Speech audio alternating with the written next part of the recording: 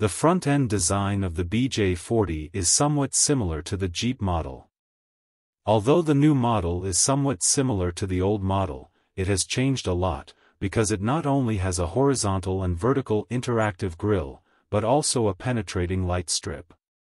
The degree and high-end feeling will be much better. On the side of the body, this car is still in the shape of a square box, and the yellow wheel support is still very noticeable and solid. As for the rear of the design, the shape of the taillight is relatively thin, and the vertical processing shows a very good visual effect. As for the body size, the length, width and height of this car are 4790-1940-1895, 1929 mm, respectively, and the wheelbase is 2760 mm.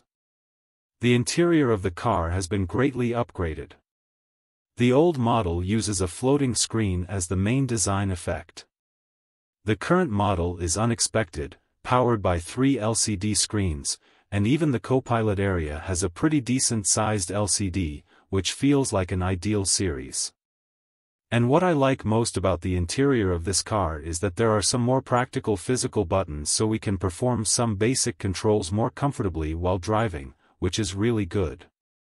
According to different models, this car can be equipped with panoramic sunroof, decorative side window frame, special traction device, side view camera, etc. and the total mass of the semi-trailer, 750 kilograms without brakes, with brakes travel 2,500 kilograms.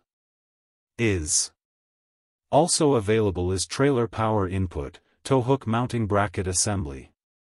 In terms of power, this car is based on Honeycomb Ichuang Technology Company, Limited. The HY4C20C model manufactured by AS with a maximum power of 172 kilowatts is equipped with a 2.0T engine. In terms of transmission it still matches ZF's 8AT transmission. This brand new Beijing BJ40 is really not inferior to the Tank 300 in terms of off-road capability.